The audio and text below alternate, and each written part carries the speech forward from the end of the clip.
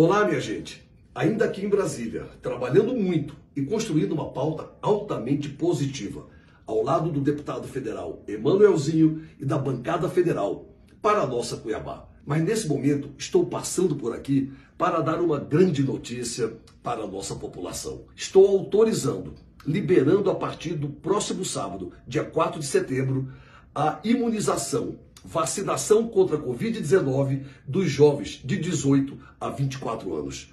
Com isso, seguimos avançando e com a maior brevidade de tempo possível, vamos imunizar toda a população cuiabana. E a partir de agora, temos novos desafios. Foco e determinação total para adquirir as vacinas para a terceira dose dos idosos e para dar início à vacinação dos adolescentes de 12 a 17 anos. Somente dessa forma, sempre respeitando o Plano Nacional de Imunização, vamos vencer a Covid-19. Um grande abraço.